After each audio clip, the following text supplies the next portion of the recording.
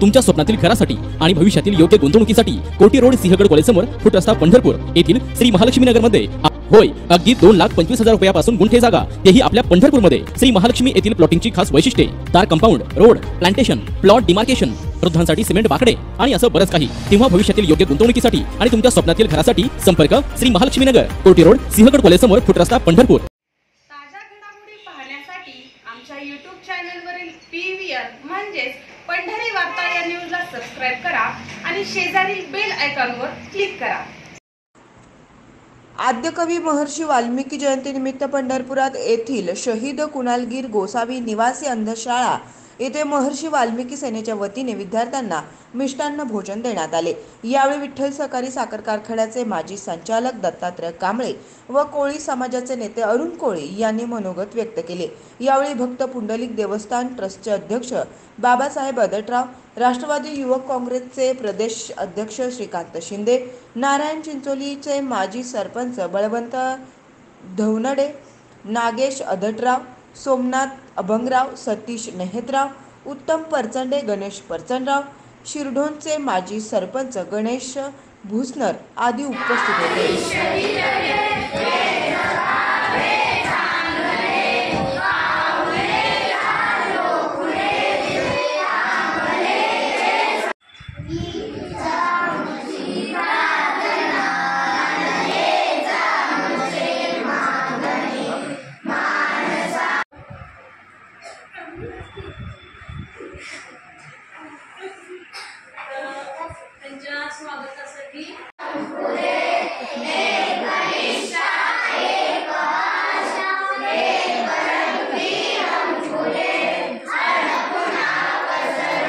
कोजागिरी पौर्णिमेनिमित्त महर्षी वाल्मिकी जयंतीनिमित्त महर्षी वाल्मिकी सेनेच्या वतीनं विविध कार्यक्रमाचं आयोजन करण्यात आलं होतं.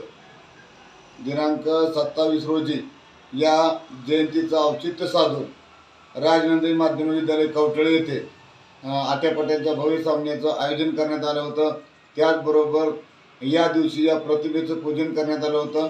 यात आमच्या प्रशालेचे मुख्याध्यापक होळकर सर यांनी या प्रतिमेचं पूजन केलं. त्याचबरोबर शिरडोन कवटाळे आणि पंढरपूर या तीन ठिकाणी या कार्यक्रमाचं आयोजन करण्यात आलं होतं.